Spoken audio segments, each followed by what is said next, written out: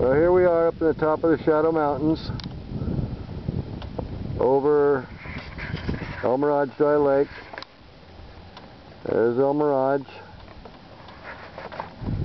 And we are, this would be looking west by southwest right now. Kind of the edge of the lake bed there that's right in the center of the picture. That's where our camp is, thereabouts. And if you look over that way, that's Gray Mountain, which would be right, right about there. And Cameron wants to go over there, climb Gray Mountain again. So we're going to work our way around the hills and back over to there and see if she can go back up it.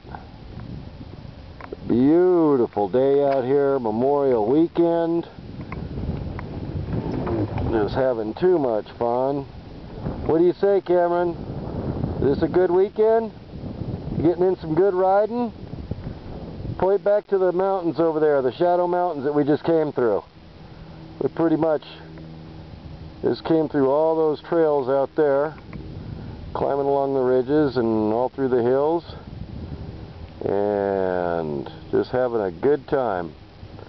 So, couldn't ask for better weather out here. About 75 to 80 degrees, cool breeze blowing, just beautiful.